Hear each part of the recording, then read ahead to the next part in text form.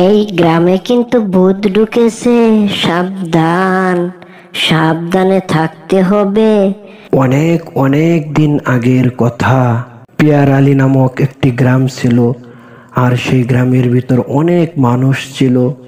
গ্রামটির উত্তর পাশে একটি গভীর বন জঙ্গল ছিল, আর সে বনেই বাস করতে একটি মাথা কাটা ভূত। পুরো বনের ভিতর রাজত্ব করে বেড়াতো সেই মাথা কাটা ভূতটি একাই। দেখলে যে কোনো মানুষ ভয় পেয়ে যেত। শুধুমাত্র হাত, বাকি কোনো শরীর নেই। আবার সেই হাতের ভিতরে চোখ রয়েছে, মুখ রয়েছে। সে হাতটি কথাও বলতে পারে। অনেক বই পেয়ে যেত সবাই মিলে। আর ওই গ্রামের ভিতর অনেক মানুষ বসবাস করত। আর সেই গ্রামের ভিতর একজন কাঠুরিয়া বসবাস করত। তার দিনকাল বলতে অনেক কষ্টে যেত। অনেক পরিশ্রমে যেত অনেক অভাবী সংসার ছিল তাদের। সারাদিন কাঠ কেটে যা পেত বিকেল বেলা বাজারে তা বিক্রি করেই তাদের সংসার চলতো। একদিন কাঠুরিয়ার মেয়ে বলতেছে আব্বু আব্বু আমার না পরীক্ষার ফি লাগবে একশো টাকা। টাকা দিতে হবে একশো। আরে মা এত টাকা কোথায় থেকে পাবো? একশো টাকা তো নেই। এই অভাবের সংসারে কোথায় থেকে পাবো এত টাকা?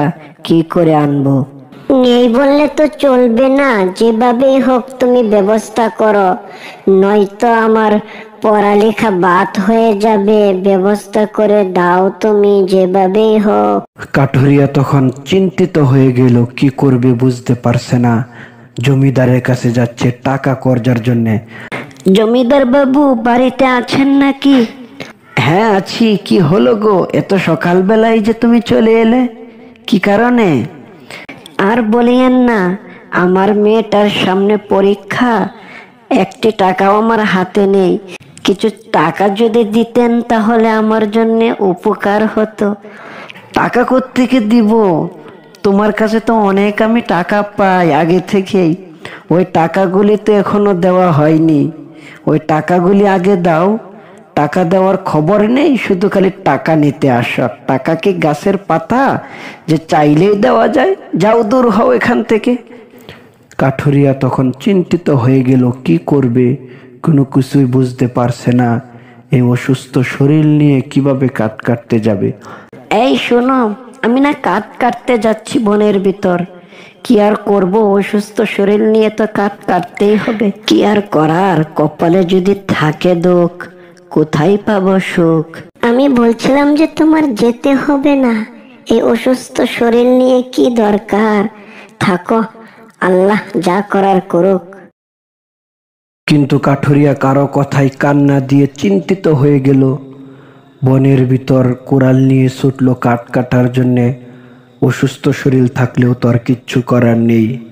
বনের ভিতর প্রবেশ করে বড় দেখে একটি ঘাস কাটতে লাগল।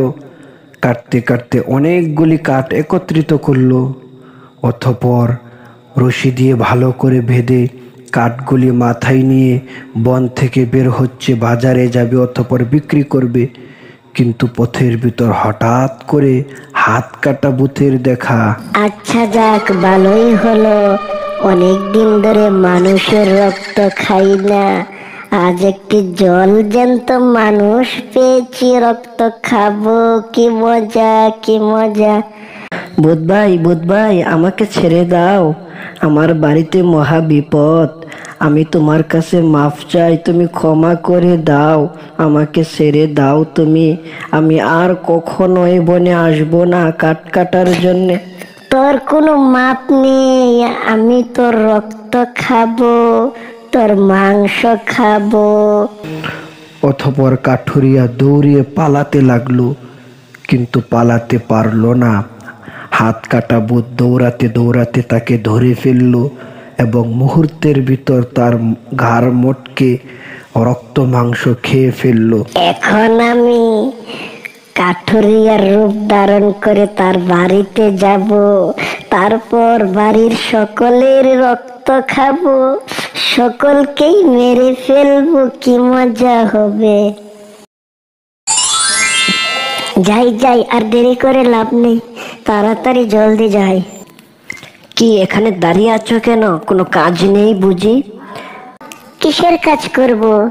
তুমি কাঠ কেটে এসেছ টাকা কোথায়? কি করেছ টাকা? বেশি কথা বলবে না একদম মেরে ফেলব কিন্তু চুপ করে থাকো। কাঠুরিয়ার স্ত্রী অবাক হয়ে গেল, এ কেমন কাণ্ড? তার সাথে এরকম করতেছে কেন কাঠুরিয়া?